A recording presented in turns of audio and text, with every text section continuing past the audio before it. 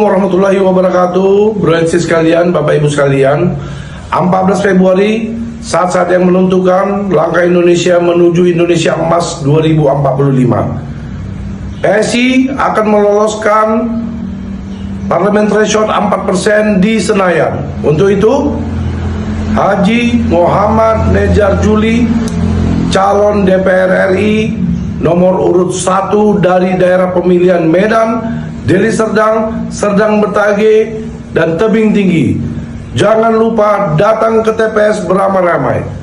Coblos nomor urut 1. Dan ingat, presidennya tetap Prabowo Gibran nomor urut 2 menuju pemimpin negara Republik Indonesia.